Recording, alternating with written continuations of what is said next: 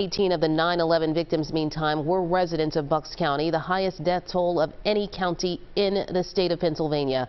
A ceremony honoring the victims is underway at the Garden of Reflection in Yardley. And that's where we find CBS News Philadelphia reporter Jasmine Payoute with the very latest, a very somber day. Good morning, Jasmine.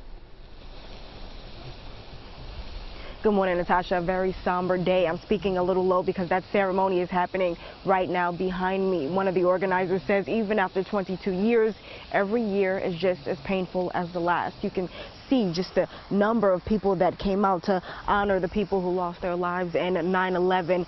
As you mentioned, this was one of the places hit hardest here in Pennsylvania. Take a look at how the ceremony began.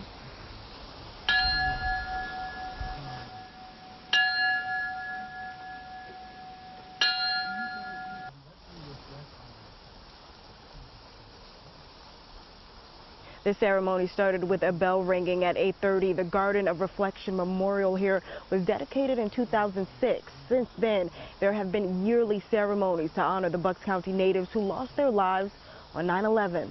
Again, we know 18 residents of Bucks County and 9 from Lower Makefield Township lost their lives during those attacks. We spoke with one woman about why it was so important to keep her husband's memory alive year after year it's it's a hard day. And it's a hard uh, I've, I planned several of these over the years as well. And it's a hard um, balance between uh, celebrating the lives that we lost and acknowledging the, the horrific events.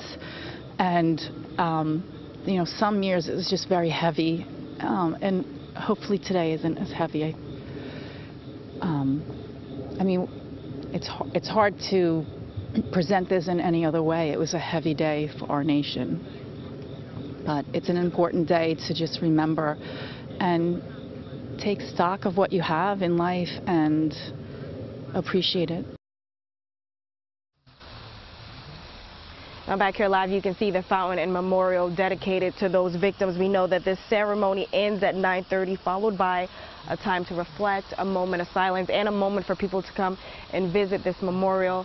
As I mentioned, as you can see behind me, just a lot of people here to remember and honor those lives lost. Natasha, I'll send it back to you in the studio. All right, Jasmine, thank you so much.